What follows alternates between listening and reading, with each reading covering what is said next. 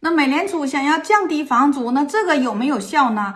可能对于两千五百块钱以上独栋房子的租金，它是有效的，这些租金在下降。但是对于一千三百美元以下的中低端的出租房来说是没有效的。我自己在亚特兰大有很多出租房，我就说一下我看到的一些现象。首先，对于这些出租房来说呢，租金一直是在上涨的，不管房价怎么变化，贷款利率怎么变化，租金一直都是在上涨的。